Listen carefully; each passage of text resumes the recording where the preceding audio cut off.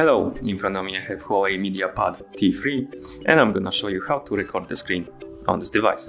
Let's start by opening the quick panel and to do it swipe down uh, twice from the top of the screen, like this. And here uh, we should have a screen recorder icon, but we don't have it. So let's tap on this edit icon on the top, the pencil icon. And here we have our screen recording. Let's touch and hold on this icon and then drag it to the list above, like that, and then tap back to go back.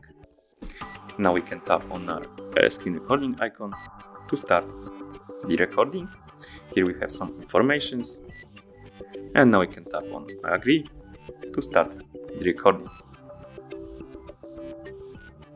As you can see right here, the recording started and we can either stop it by tapping on stop right here or we can stop it another way. We can stop it by uh, let me let's wait till it starts. We can also stop the recording by pressing and holding the power button and volume up button together. Like that let's see our videos.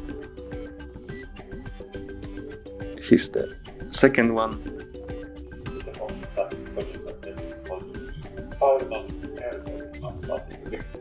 And here's uh, the first one. We recorded.